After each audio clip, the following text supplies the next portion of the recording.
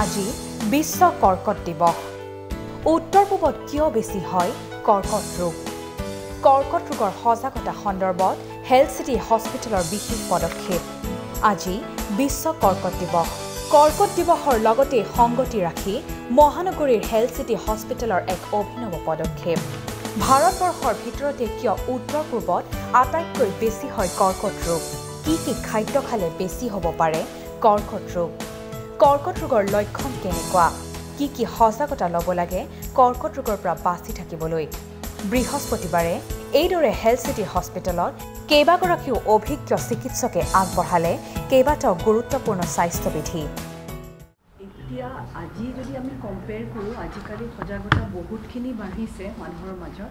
তথাপিও লেকিং এতিয়াও আমি পাওঁ বহুত মানে যেনেকৈ ক'লে stage two one two three four এতিয়াও আমি ষ্টেজ টু থ্ৰীত আমি পেচেণ্ট পাওঁ।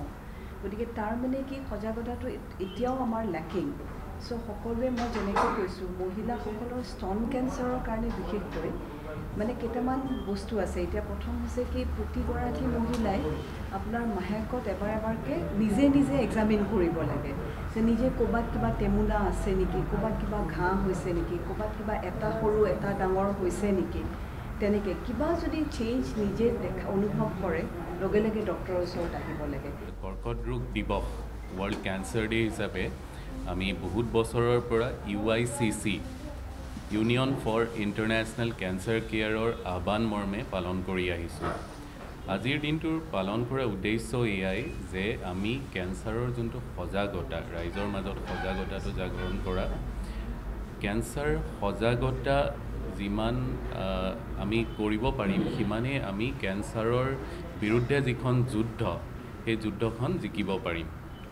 এতিয়া আজিৰ যোনটো থিম সেইটো হ'ল I am and I will যে মই ময়েই সজাগতা কৰিব লাগিব। মই মানে ডক্টৰ আপোনালোক মেডিয়া ৰাইজ সকলোৱে এজন এজন কেঞ্চাৰৰ সজাগতাৰ ব্ৰেণ্ড এম্বেচাডৰ হিচাপে কাম কৰিব লাগিব। তেতিয়াহে আমি কেঞ্চাৰৰ বিৰুদ্ধে যিখন যুদ্ধ আমাৰ সেইখনত আমি জিকিব পাৰিম। তেজ এনেই কোনো ডেফিনেটলি কোনো লছ হোৱা নাই কিন্তু তথাপিও মানুহে এনিমিয়া দেখাইছে। বা অল্টাৰ্ড বাৱেল হেবিট বুলি কোৱা যায় যেতিয়া পেচাব পায়খানাৰ অভ্যাসটো চেঞ্জ হয়।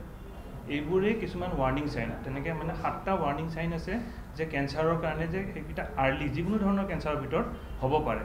গতিকে এইকেইটা হ'লে কোনোবা খাওঁতে যদি কিবা পানী খাওঁতেও লাগিছে খুব আমি যোনটো শেষ ঢুকুতেও যদি লাগিছে এইবোৰ কিছুমান ৱাৰ্ণিং চাইন তেনেকুৱা সাতটা ৱাৰ্ণিং চাইন আছে এজ এ হ'ল ফৰ অল কেঞ্চাৰ হয় গতিকে এইখিনি সজাগতা আপুনিও লওক আৰু বাচি থাকক মহামাৰী কৰ্কট ৰোগৰ পৰা। Bureau' report time eight.